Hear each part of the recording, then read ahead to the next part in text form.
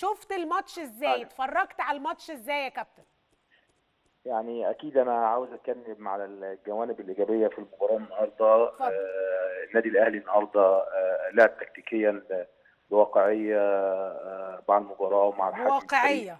آه بحجم مع حجم الفريق كمان اللي هو بيقابله النهارده آه بايرن ميونخ فريق طبعا مميز جدا جدا ويمكن النادي الاهلي طريقة لعبه النهارده كانت واقعية آه بغض النظر عن النتيجة طبعا لأن أنا آه، اولا حتى لعيبة النادي الأهلي أو جهاز النادي الأهلي آه، صعب جدا إن هو يقول عن النتيجة هو خسران ان هو متقبلها لكن. أنا بقول إن آه، مباراه النهارده فيها خبرات كبيرة جدا جدا لعيبة النادي الأهلي آه، بالذات لمعظم اللعيبة اللي هي أول مرة تلعب في آه، كأس العالم للأندية آه، فيها خبرة كبيرة جدا وفي نفس الوقت آه، واثق إن النادي الأهلي عنده فرصة كبيرة جدا إن شاء الله في المباراه اللي جاية.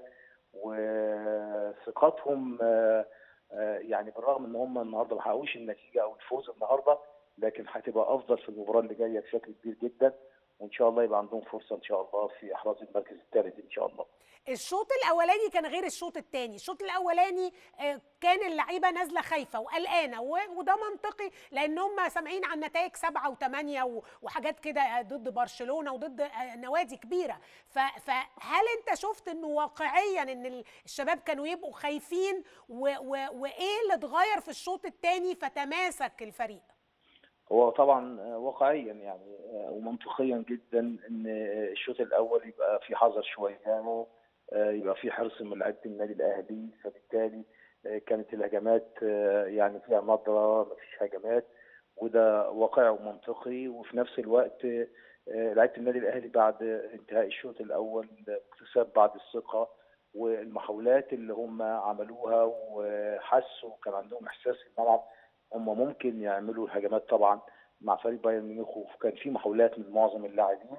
عشان كده شفنا يمكن الشوط الثاني أفضل شوية وفي جرأة آه، أفضل من الشوط الأولاني. ده آه، واقعي ومنطقي.